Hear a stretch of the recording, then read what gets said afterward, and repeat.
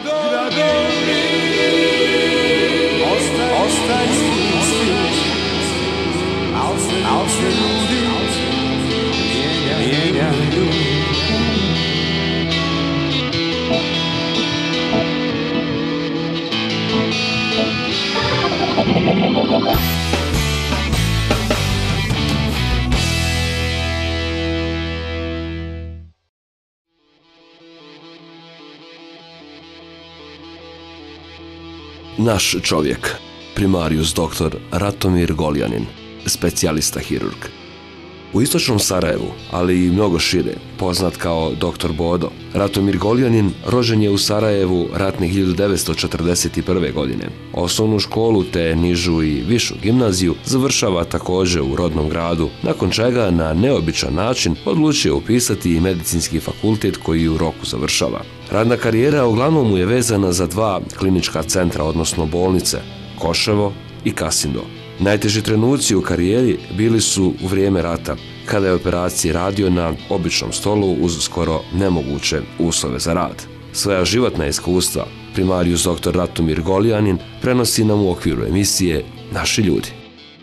Gospodine Goljanin, e, ono što je interesantno, a e, što danas nažalost imamo malo takvih ljudi, e, posle u emisiji Naši ljudi, e, zadovoljstvo je predstaviti nekoga koji je rođen iz Sarajlija, koji je čitao svoj naučni životni vijek proveo ovaj, u Sarajevu, a evo i kao penzioner živi također na području istočnog Sarajeva. Pa evo za naše gledalce koji možda ne znaju puno o vama, mada pretpostavljam da svi oni stari, stari građani Sarajeva znaju vas iz bolnica, ako su koristili usluge da li prije rata bolnice Koševi ili evo poslije i u toku rata bolnice Kasindo. Da kažemo nešto više o vama, počet ćemo od toga da ste rođeni ratne 41. godine u Sarajevu u naselju Pofalić, je li tako? Jeste. Šta možemo izvojiti recimo u to vrijeme Eh, vašeg rođenja? Pofalić tada se vodili kao predgrađe. Oni se vodili tada kao predgrađe, bliže predgrađe Sarajeva.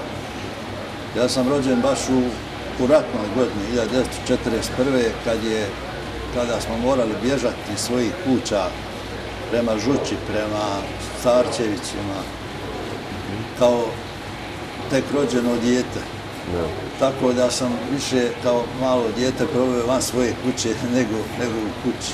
Dakle, od, od prvih dana vas rat nije poštedio, rat, me, ni, no, znači nikad me nije štedio. Da. E, možda, eto, to je neka simbolika da ste možda i, i, i rat eh, proveli eh, e, radići u bolnici Kasindo u e, zaista teškim uslovima, o čemu ćemo nešto kasnije govoriti.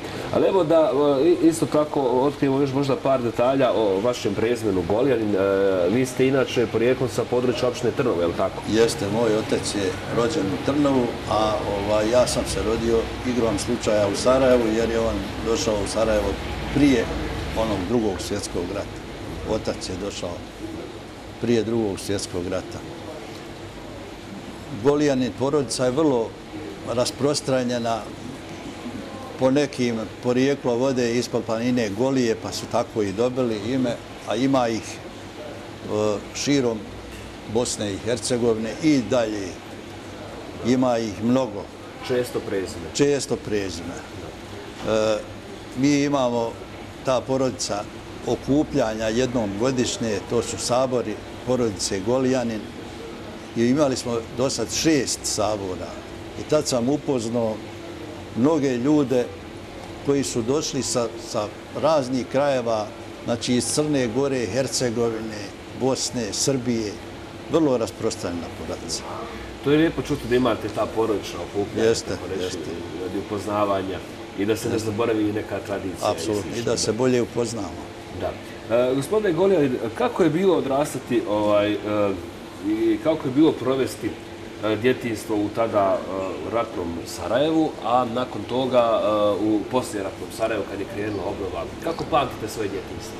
Pamtim svoje djetinstvo po vrlo skromnom životu u jednoj porodici koja je skromno živjela od plate moga oca koji je radio u pošti. I kroz cijelo školovanje moje taj poratni period se dobro odrazio, znači bili su dosta loši životni uslovi. i to me pratilo do završetka studija. Ali evo, a, ipak ste uspjeli dakle, da završite osnovnu školu, gimnaziju u tako? Jeste. Znači, a, sredstava je bilo za školovanje, ulagalo Pa se u školu. to je, to je ono nužno što je neophodno jer školovati djecu to je i obaveza, a i, i to je osnovno. Škola je osnov svega. Ja sam osnovnu školu za- završio u, Pof, u Pofalićama u jednoj osnovnoj školi. U poratnom periodu to je bila jedna neugledna zgrada, a gimnaziju i nižu i višu u, u trećoj gimnaziji u Vilsonovom šetalištu. Znači, bukvalno u komšiluku. Tu sve, tu sve. E, Kada se e, u vama rodila ta želja, odnosno kada ste došli do te spoznaje da, da ćete jednog dana želite da postanete doktor, da se bavite tim, kako je došlo do Pa toga? možda, možda prvi taj, ovaj, jer sam uzeo maturski rad, kad sam završavao tu višu gimnaziju, maturski rad patogene bakterije. Zahvaljujući jednoj divnoj nastavnici Sani Lojo, koja mi je dala tu temu i kod nje sam to obranio. To je prvi kontakt s medicinom bio, znači patogene bakterije, što se sreće u medicini, već to je poznata stvar. To je taj prvi, prvi neki moj dodir sa medicinom. Mada sam ja uvijek u podsvijesti zamišljao da ću studirati pravo. Bravo. Pravo. To mi je bilo nešto u podsvijesti i šta se desilo. Kad sam trebao da se upišem na fakultet, pošao sam neodređeno. I u tramvaju sretnem svoga druga Cvijanović uh, Slobodana, školkog druga iz gimnazije. Pitam njega gdje si pošao, idem da se upišem na medicinu. Ja kažem, idem i ja s tobom. I to je tako. tako. Tako, i upišemo se i tako je krenulo dalje. Da, da, da. Interesantna priča. Jeste. E, da li ste si jednog trenutka e, u životu zbog te Ne, ne, nikad. Ja sam pronašao baš svoje ono što mi odgovara i što mi je bilo pri srcu da se bavim i to je to. E, vaša supruga je također zdravstveni radnik. Jeste, jeste. E, da li ste se na fakultetu upoznali ili... Pa tu negdje pri kraju gimnazije i na fakultetu. Da. Da li ste e, stupili u braku posle završenog fakulteta ili... Jeste, posle završenog, kad smo oba dvoje bili ljekari. Koliko je to dobro za, za brak, za porodicu, Pa kada su u istoj ma, manje više struci? Pa sigurno da je dobro, bolje razumijevanje i to je sigurno. E, doktore, e, znamo svi donekle i posao ovaj, nas, novinara, ljudi iz medija je vezan za, za česta odstovanja od kuće, za nekad i noćne smjene i tako to. Je li teško održati taj porodični život s obzirom da za vas, ono što se kaže, doktore, pogotovo u ratnom periodu, to e, nije bilo radnog vremena što ste bili u svaka doba, znači na raspolaganju? Pa i prije ovoga ratnog perioda kad se, kad se dano noćno bilo u bolnici, kad sam više bio u bolnici nego kod kuće, u stvari nisam tad ni imao kuće, ja sam stanovao u bolnici. Ali i ranije dok nije ovoga rata bilo, česta su dežurstva, takav je posao, često si odsutan od kuće, pogotovo hiruški posao kojim se ja bavim. Zahtijevo je često odsustvo, ali to je, stvori se navika, to je tako, treba i gotovo. Pretpostavljam ima i tu ljubav najviše. kada Pa, apsolutno, to nema govora. A, recite mi, e, kada ste, evo, pri, rekli ste nam kako ste došli do toga da studirate medicinu, a e, kako ste se baš opredijelili za hirurgiju? Šta je tu bilo presudno? Pa i opet je i tu bilo ovako jedan slučaj. Ja sam nešto u svojoj glavi zamišljao sebe kao internist. I kad sam bio u domu zdravlja radio, to je bilo negdje 71. godina, e, dijelile se spe, ove specializacije jedna mlada doktorca je dobila interno preko nekih tako nejasnih situacija i ja sam se jako naljutio, išao direktoru, kažem pa ja sam stariji, na redu sam. Kaže, reci šta ćeš, rekao, hoću hirurgiju. To je bio kao ovako neki Više iz revolta možda. Zrevo hoću hirurgiju. Čovjek da, da. okrenu ministra zdravlja na telefon. Bio je Mustafa Janović, direktor zdravlja, ministar zdravlja. Daj mi jednu hirurgiju. I tako. I tako ja krenim na hirurgiju. I tu sam se našao. Po- Pogodio sam o nešto što mi leži. Eto. E, interesantne su te vaše odluke bile. Ovaj. A recite mi, fakultet ste završili, pretpostavljam, u roku. U roku sve. I To je već fakultet, 70 i koja godina? fakultet sam završio uh, 66. godine. 66.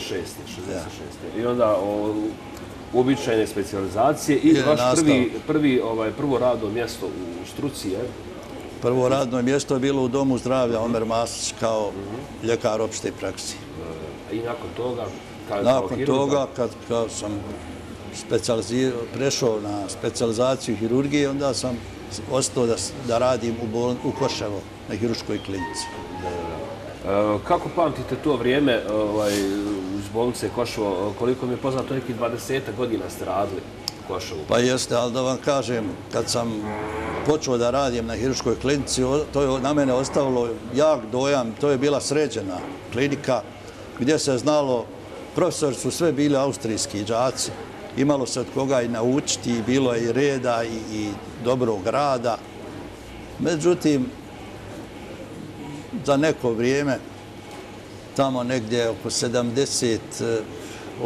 možda, došlo je do nekih previranja u toj hiruškoj klinici, podjela, U kom smislu? podjela, počele se dijeliti odjeljenja, e, uopšte nastoje neki nered.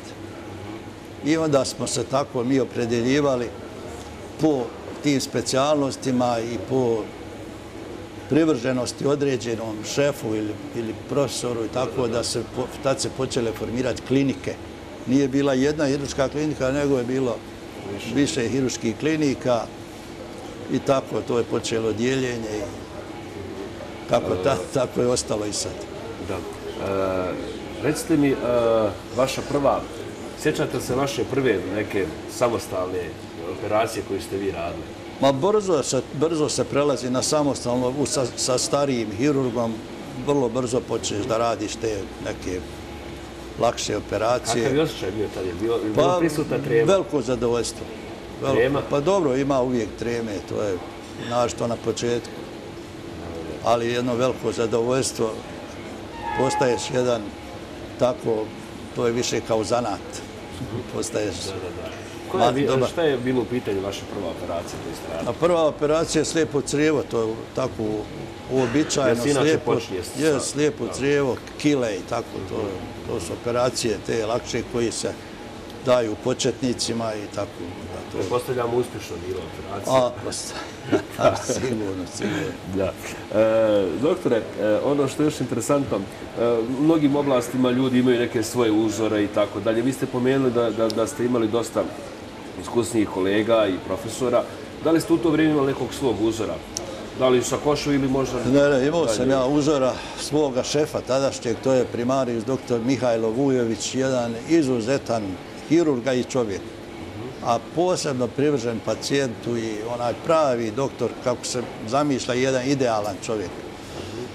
I uz njega sam se učio, nema govora, to je ono što kažu, dosta sam ti njegovih pokupio manira, pa možda i malo previše ove, kako bi rekao, te preciznosti koje je on imao, to je ostalo u meni uvijek, da uvijek budem ono baš, Da, da bude sve per, perfekcija. da.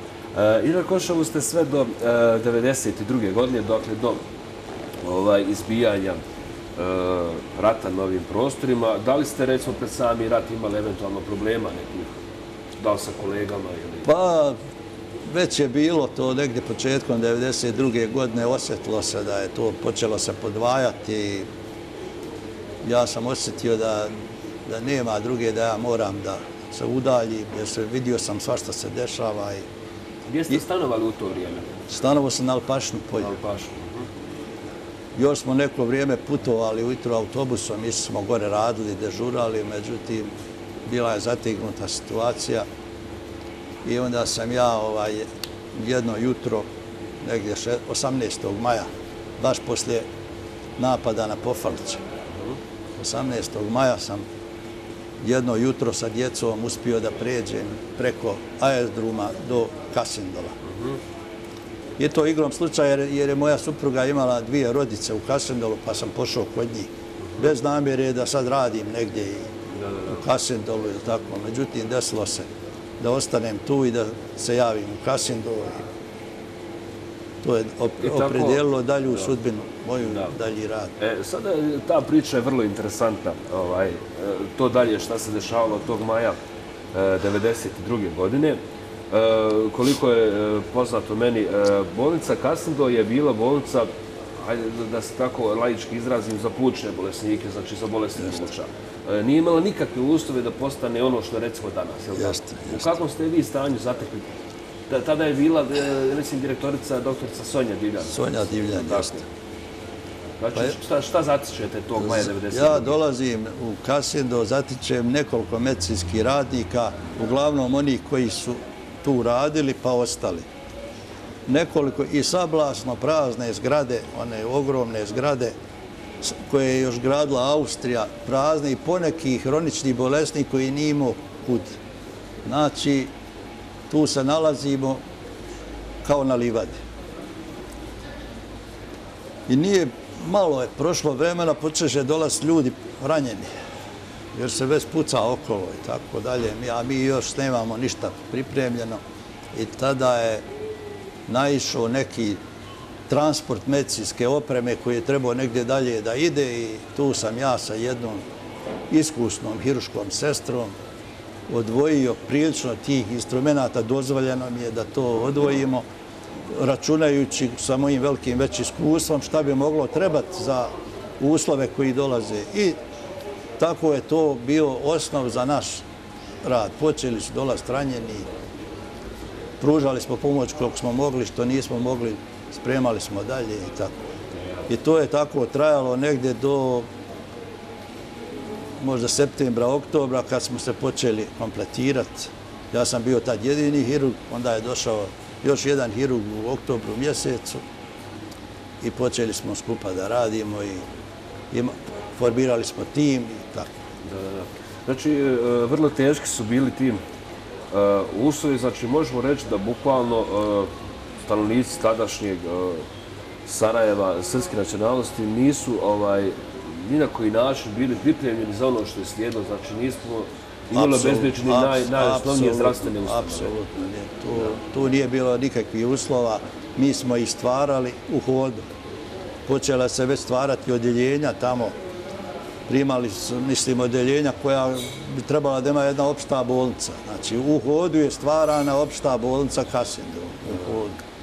Koliko je bilo teško vama, znači, s obzirom da ste radili u Košovu gdje su bili, hajmo reći, ovaj, idealni uslovi za rad, e, kako, kako ste vi to sve doživljavali? Ovaj, da li ste imali u stvari uopšte vremena u to vrijeme da razmišljate puno kad su počeli stizati ranjeni ljudi? Nužda nas je natjerala, dolaze ljudi povređeni, ranjeni, treba ga zbrinuti. Nužda. U početku se operisalo na običnom stolu. Na običnom stolu, maloj prostoriji, tu koliko nas je bilo, gurali smo se tijesno, nam je bilo, ali smo imali svoje iskustvo i imali smo nešto instrumenta i počeli smo da, da spašavamo ljude. Pretpostavljamo i transfuzija nije funkcionisala. Pa i transfuzija se osposobila, ali u početku nije bilo. Nije bilo transfuzija. Da li je bilo slučajeva, recimo, da ste morali e, hitno reagovati i, i, i izvršiti neke operacije, da recimo nije bilo e, određenih sredstava za, za uspaljivanje, za... Pa kaže vam, kad su počele te opšte, one operacije u opštoj anesteziji, već smo, morali smo pripremiti, znači bilo je pripremljeno ono što, što se moglo nabaviti. Dolazili su doktori kvalifikovani za takve poslove i, i počeli smo da radimo. Sve je bilo bolje i bolje kako odmicalo vrijeme. Dolazili su donatori, donosili lijekove, donosili opremu. Čemu ste se najviše obradovali tih medi, medicinskih Pa, uređaja ili... Najviše se obradovao da, da stvoreni uslovi, da su došli instrumenti, da su doneseni instrumenti, da je, da je oformljene ekipe. To, to sam se radovao. Međutim, ja nikad ne mogu prostiti Ministarstvu zdravlja i svim ljudima koji, da, da je Kasindo uvijek bio na dva hirurga. Na palama je bilo veći broj hirurga, radili su u smjenama. Ljudi rade pa odu dva dana imaju da se odmaraju. A nas dvojica dan noć. Ne može se odmaći od bolnice, ne može se odmaći stalno posao, stalno pristižu ranjenici, nikakve zamjene, ništa. U nekim slučajima kad je došlo jednom 67 ranjeni u, jednom danu, tad su došli dvojica ljudi, dvojica hirurga na ispomoć, tu se zadržali kratko i opet otišli. I tako je to bilo povremeno ti pomoći, ali u suštini baš je sav teret bio na dvojici hirurga. Uz pomoć dru, drugih doktora koji nisu bili te struke. A, to je to. Teško, e, teško doba. e, Vrlo teško kažu, i naporno doba, ali šta se može, tako je bilo. Da. E, recite mi, doktore, u vašoj karijeri, e, možda neki, koliko se, doktor, a, hajde sad, ne mislim na vas lično, koliko se može ide, identifikovati sa pacijentom, saživiti sa njegovim problemom ili tu ne smijete dozvoliti emocijama da vas ovladaju? Da vam kažem, tu nema emocija, tu radi rutina, onaj želja da pomogneš čovjeku, da ga spasiš i to je to, nema tu. To, to, mi smo zato opredjeljeni, to nam je život. Da li vas I ipak to je velika sreća lična kad spasiš čovjeka. Naravno. Veća, ogromna sreća.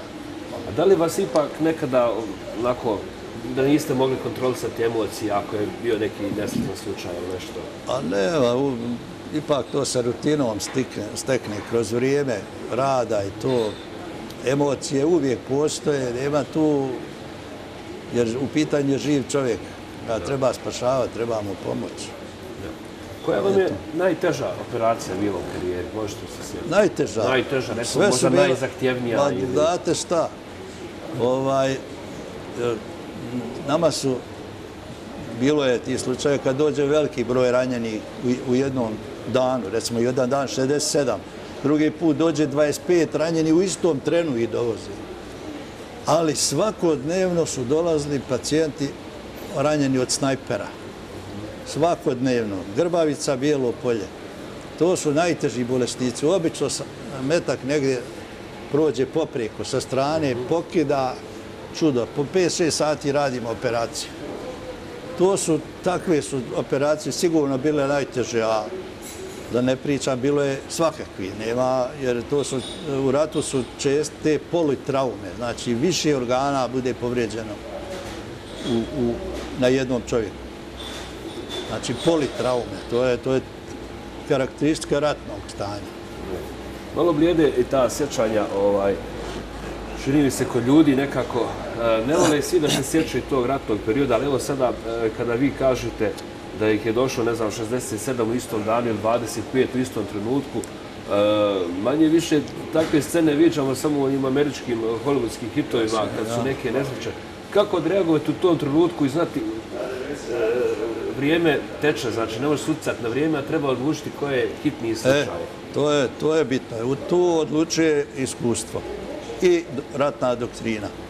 Došlo je 25 ljudi, nije najprioritetniji onaj najtežiji, koji je recimo izbušen sav.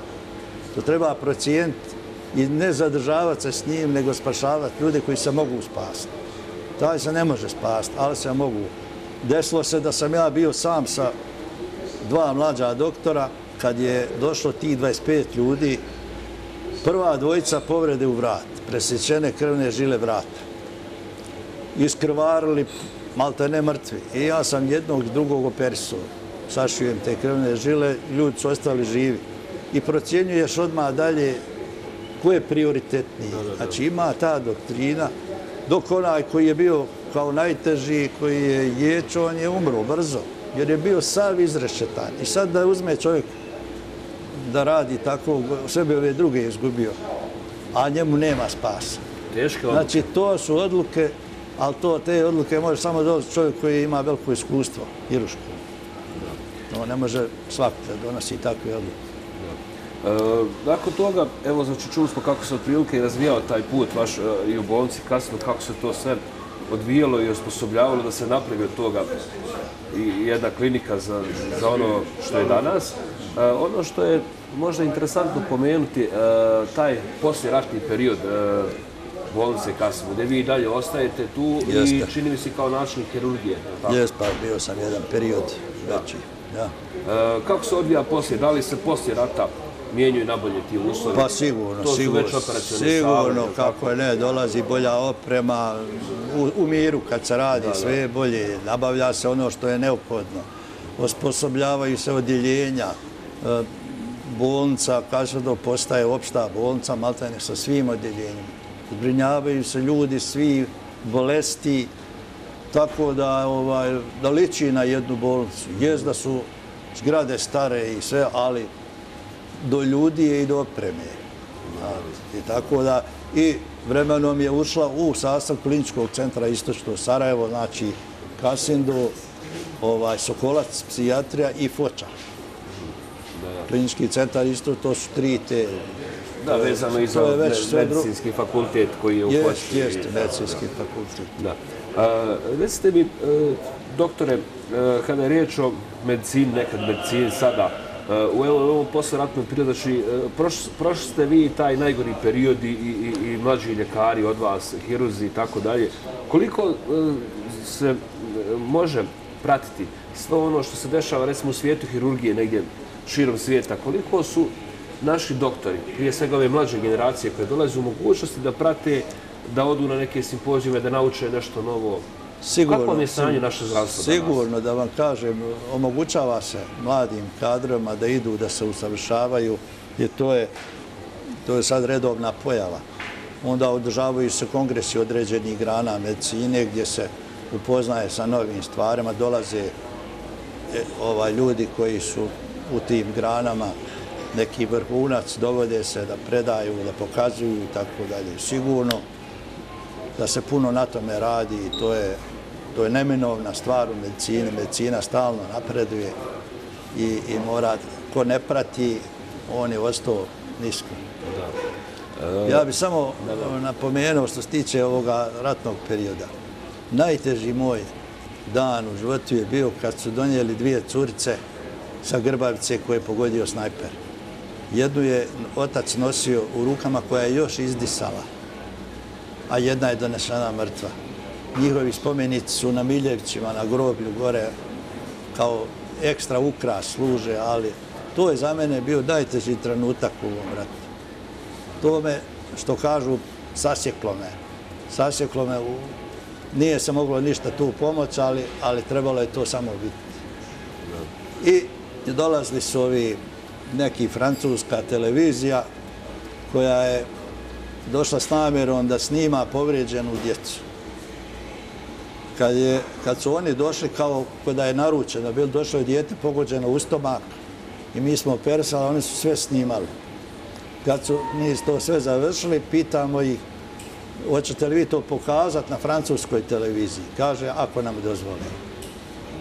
Ako nam kaže dozvole. Znači, Vrijedila su određena pravila. pravila su, ako nam dozvole da ovo pokažemo. To je to. Mislim, to... Doktore, puno je tih trenutaka bilo e, zaista teških. Evo, e, prisjetili ste se nekih, ja pokušavam da, da, da kod vas puno ne, ne budim te neke ružne ovaj, uspomene e, na taj ratni period, ali dobro je neke stvari pomenuti da se ne zaboravi.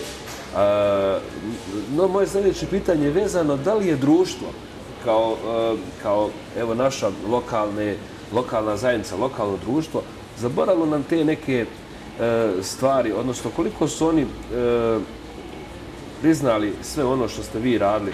E, čini mi se da ste vrlo često bili u situaciji da nekoga molite za nešto što je osnovno, a da niko nije vodio računa da li toj bolnici nešto treba i tako dalje. To je, Koliko je društvo bilo zahvalno prema vama doktorima koji ste se borili za živote mnogih? to je redovna pojava da stalno nešto traži, moli i tako. Nisam baš ovaj nekog ubjeđenja da je ovaj da se puno činilo za tu bolnicu. Nije. Nije, ali eto, šta se može. Mi smo tretirani isto kao i svi ovi građani koji su ovdje živili, radili, isto smo tretirani, nemamo nikakve 100% privilegije, ni se odvajamo. Mi smo radili svoj posao i to ne po našoj savjesti i, i u meni je zadovoljstvo šta sam ja uradio, kog sam ljudi spasio, a ne gledam hoće li mi neko to priznati ili neće. To je sporedna stvar. Da, da, da. E, pretpostavljamo da su mnogi mladi doktori dolazili ovaj, u bolnicu kasnije da završavali određene specializacije. E, vi ste trenutno u penziji. E, šta je ostalo poslije vas e, u bolnici kasno? Kada kažem poslije vas, mislim na te mlađe generacije. Da li imamo sad trenutno dobre generacije hirurga? Pa one trebali bi da budu dobri, znate, to su sve mladi doktori, nema niko s nekim većim iskustvom, tako da ovaj, sigurno kogod je htio da nauči, mogo je da nauči. Imao je priliku. Rat je baš vrijeme kad se može mnogo naučiti. Mnogo stvari, mnogo vidjeti, mnogo naučiti. I kogod je htio da nauči, naučio je. Imao je priliku. Može da se još usavršava, ali mogu je da vidi neke vrlo bitne stvari. Što ja kao hirurg nisam imao priliku. Ja sam učio u knjigama, ali nisam to mogao vidjeti ni zamisliti šta se sve Dok vas dešava. nije strašno Ka- 92., Kakvi su ljudi dolazili, kako povrijeđeni i tako dalje. Da. Međutim, E, moram da se pohvalim da smo mi kao hiruška ekipa u bolnici Kasindo imali izuzetne uspjehe u spašavanju ljudi. I, i za, za veliko čudo vrlo malo infekcija je bilo U ovaj, kakvim se uslovima radi, radi. Znači, ja sam, ja sam prezadovoljan kako se sve odvijalo. I kad su naši pacijenti odlazili dalje na neki tretman u Beograd, uvijek smo dobivali pofale sa Vojno-medicinske akademije i tako da smo dobro zbrinuli i tako. To je nesporno i to treba da se kaže. Bilo je slučajeva kada ste morali odlučiti da li je neko ovaj, za dalje slanje, jeli na Pa normalno, mi smo, VMA pru- i slično. mi smo pružali pomoć u našim mogućnostima. Ako je nešto trebalo više, mi smo ga obezbijedili toliko da dođe u jednu veću ustanovu kao što je VMA i slično. Nakon e, zaista e, impresivne karijere koju ste vi imali u, u, u, u životu, pored e, znači, Doma zdravlja, bolnice, Koševo, bolnice, Kasinda, evo, e, danas ste penzioner, već godinu dana neki ste e, u penziji. E, kako neko ko je imao tako radno, radni tempo, znači, kako ste se snašli sad u ovoj novoj ulozi? Pa da vam kažem, to je neminovnost, to svakoga čeka, dođe vrijeme kad treba da se ide u penziju. Međutim, ja sam, ono što kažu, zdrav, sposoban, mogu i sad da radim i ja sada obslužujem neke ove klinike ovde, traže ljudi moje savjete ili neku intervenciju. Dalje ste, tako znači, dalje. aktivni. Aktivan sam tu i imam i druge slobodne aktivnosti.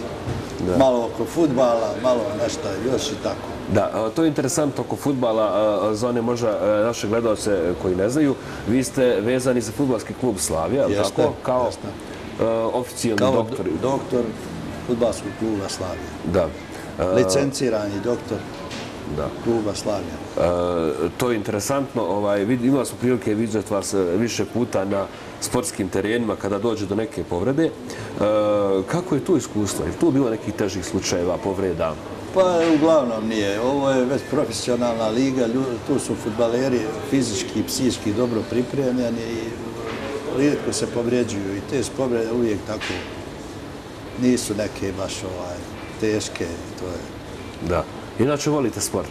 A uvijek sam volio sport. Ja sam bio u jednom periodu života kad sam završio gimnaziju kao izuzetno nadaren futbaler.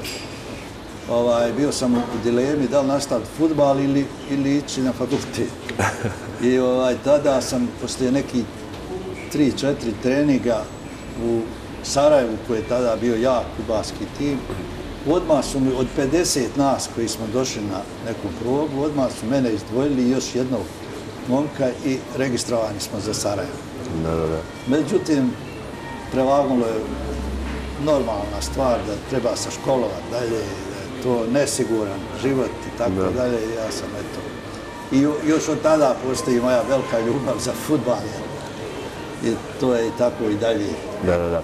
E, da li e, među vašim nasljednicima ima e, talenta?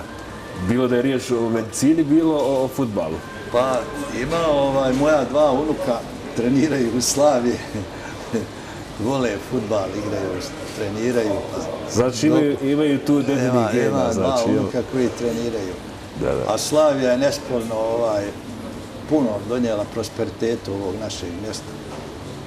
Ipak, ovaj, onda obišli smo mnogo drugih država u ovom takmičenju i to, za to, to je, Da, da, da. mislim da niko nije doprinio ovaj ugled ovoga našeg mjesta istočnog Sarajeva kao što je Slavija. Naravno.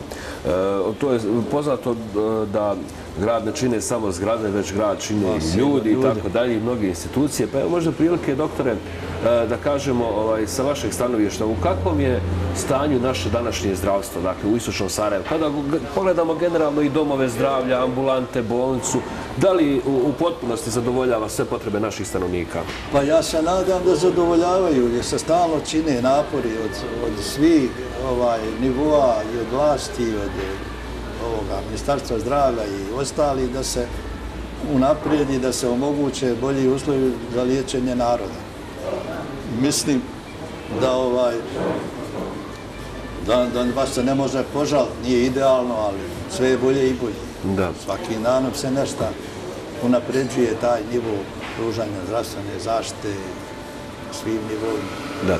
E, jedno vrijeme bili ste angažovani u lokalnim parlamentima u, u, u političkom smislu. Da li su još uvijek angažovani? Da li imate? Nisam više, što je bio sam na odbornik, to je tri, četiri mandata u ovim opštinama Istočnog da. Sarajeva i u, u, u samome gradu, ali tako, to je bio moj narod me izabrao, pa sam da, da, da. bio u tim strukturama. E, kako iskustvo iz tog perioda ovaj, E, nosite sa sobom? Pa, mogu reći da smo uvijek nastojali da uradimo što više dobrih stvari za ovaj narod. Da, budu bolji uslovi života, da se nešto što više izgradi, da se napravi i to se vidi. Istočno Sarajevo je svakim danom sve ljepše i izgrađenije da, da, da. i liči na, sve više liči na grad. Da. E, doktore, evo, ne znamo, kada govorimo o, o vašem životu, provodite ga, znači, evo, čuli smo trenutno, e, znači, u druženju sa prije svega unucima, pa onda i sa slobodnim aktivnostima, sa angažovanjem na određenim e, drugim e, klinikama i zdravstvenim ustanovama.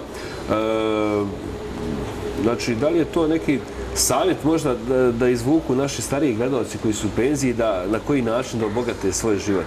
Dakle, da čovjek u radni vijek ne mora prestati onog trenutka kada ode u penziju. Pa sigurno. Je... Da li to može biti neka zdravstvena preporuka? Pa sigurno. Treba ljudi uvijek da... Jer rad čovjeka drži, ja. Ne volja se opustiti to, ne, ne predlaže nikome. Svak treba nečim da se bavi i kad, kad završi taj svoj radni vijek, uvijek ima neki djelatnost.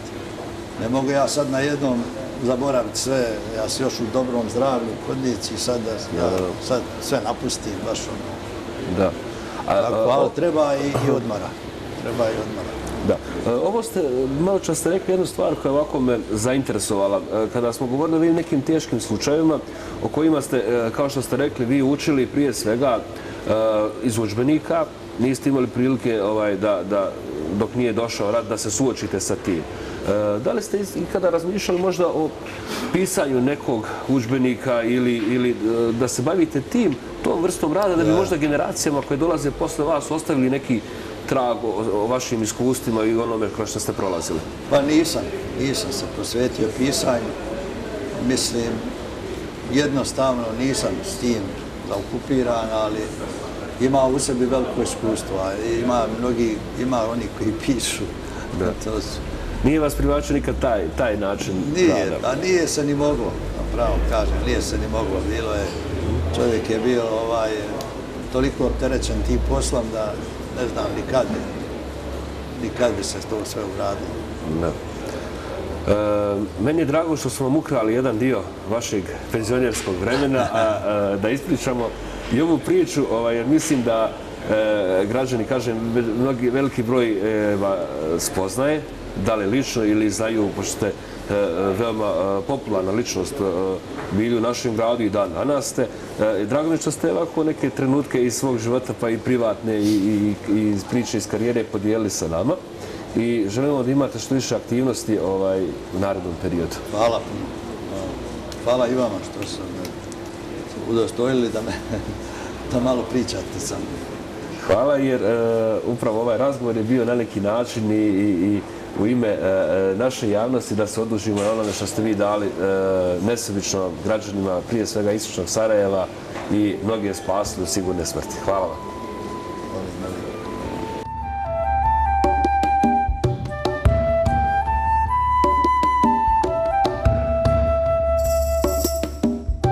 Naš čovjek, primarius doktor Ratomir Goljanin, specijalista hirurg.